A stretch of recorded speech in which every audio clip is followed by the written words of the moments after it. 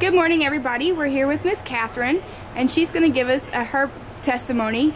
Um, it's a little bit different from the ones that you heard, but I think it's very important for people to hear. So, Miss Catherine, how did you hear about Abundant Life?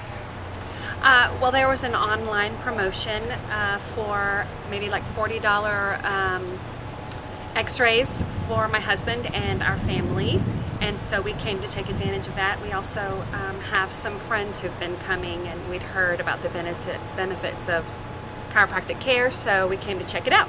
Okay, and how was your health and what were you experiencing before starting at here at Abundant Life? Uh, well, my health actually uh, was fine.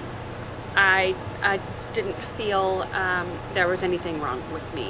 Uh, I have though experienced some ADHD symptoms as an adult and um, later learned from my x-ray that I had very good reason for having those symptoms. Okay, so you had the definition of health that most people have, which is the way you feel and the way yes, that you look. Mm -hmm. Okay, instead of the definition instead of knowing of, the truth. Right, right, right. Okay, so how are you healing? Tell us a little bit about how you're different and what has changed for you since you've okay. been coming?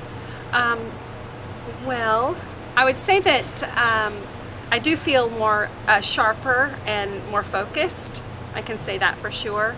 Um, and I and I no longer take any medication for ADHD. That's that awesome. was my goal was to get off of that, but be able to function, and it's helping that. right, lot. and your and your progressive X-rays have improved, so you've prevented a lot of diseases. I haven't checked my x-ray yet to see how I've been going, but yes, um, surely this is going to prevent so many things. Okay. I, am so, a firm believer in that. All right, here's your moment. You ready? Yeah. What would you tell anyone who has never experienced corrective chiropractic care? What do they not know that you now know? The condition of your spine.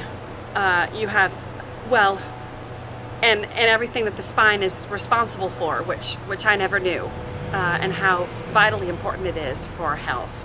Um, and you can't always feel it. No, and you have no idea until you get an x-ray and actually see what's going on. Okay, so you would tell them what?